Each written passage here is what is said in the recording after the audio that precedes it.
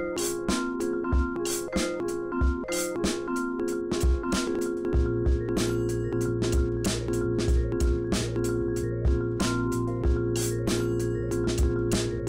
right, this is uh, PC Wiz Montreal from CompletePC.ca. Uh, you could uh, definitely check that out when you have a second. Uh, gonna be revamping the site very soon. Uh, in the meantime, you got just uh, basic layouts and photos, and videos, and prices, and what we do's, and some contacts. You know, typical stuff. Uh, yeah, so uh, today I'll be demonstrating how you assemble a motherboard properly uh, with its components. We have the Z77A G45 motherboard from MSI basically have uh, a quick installation guide right here. Um, you know, check it out. Doesn't hurt. Uh, this is a SLI uh, connector, not an AMD uh, Crossfire connector. It's uh, strictly NVIDIA, it seems. Uh, that is the motherboard backplate. Put in the case. those are some spare SATA cables. And here we got the in detail instruction manual. Um, I like these. I like what ASUS MSI seems to have followed suit uh, with these uh, front panel connectors. So when you have your case, you have these wires coming out of the case, and sometimes they're it's a very tight fit to plug that into the motherboard jumpers. So with these, you can plug that in directly into your chassis. Well, not into the chassis, but into the wires coming out of the case. Uh, it's all set up, and then you just basically plug it directly into the motherboard. Super easy. Uh, with some custom cables, it looks great. So there she is, the MSI Z77A G45. I've used this board at least in uh, two other builds, if not three.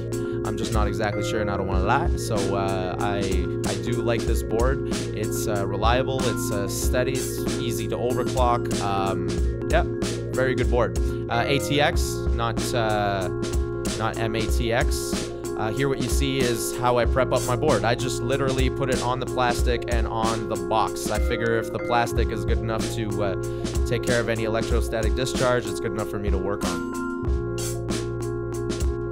That is your cap on your uh, motherboard socket processor. You have to be very careful when you take that off, but uh, yeah, just you have to remove that I recommend that you keep this little connector, this, uh, sorry, this cover, the black part.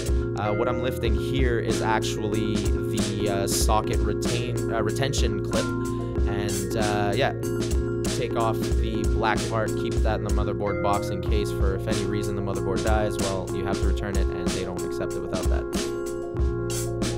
Okay, here's the processor we'll be using, the Intel Core i5-2500K socket 1155 processor. Um, I usually go for Core i5s for my uh, for my more money stingy builds. You know, um, went with a Core i5 with this build, and yeah, I'm gonna show you how to pop that into the motherboard, how to apply thermal paste and everything. So uh, here we go. Basically, have your uh, retention clip up and ready to uh, pop the uh, processor in. Okay, so right here I'm just showing you that have edges on each corner of the socket and you have to align them with the arrow, okay? Uh, make sure that the arrow is the same, is facing the same direction as the other arrow on the actual motherboard.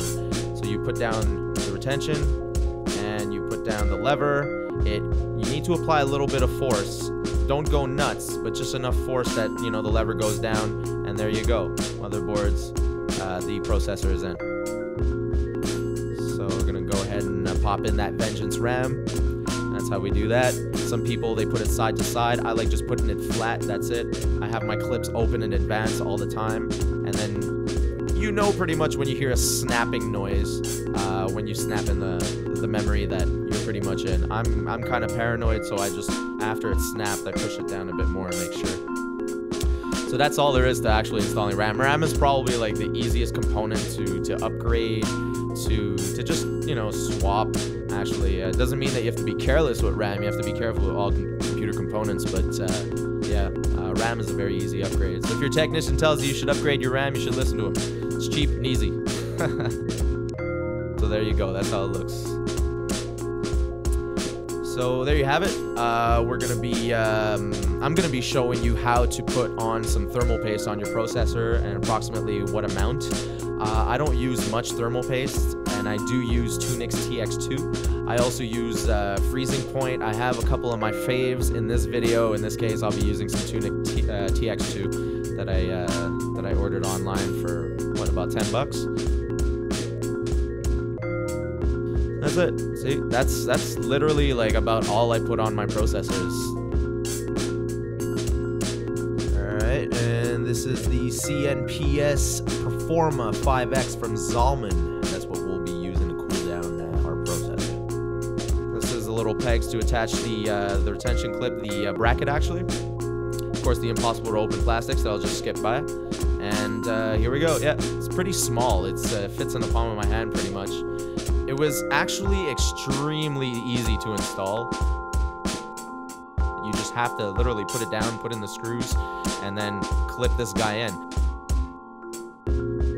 See, that's an example. See how it's spread pretty much on most of the processor? You don't need much thermal paste.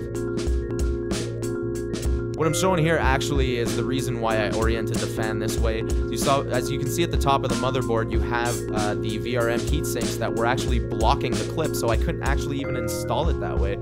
And on top of which, the RAM that I ordered isn't low profile, so at this point, I couldn't even rotate it if I wanted to. So, uh, so yeah, it's gonna it's gonna end up looking like that. It's to suck in the hot air from the uh, memory, which I'm not a big fan of. But hey, it's a clean job. It's good.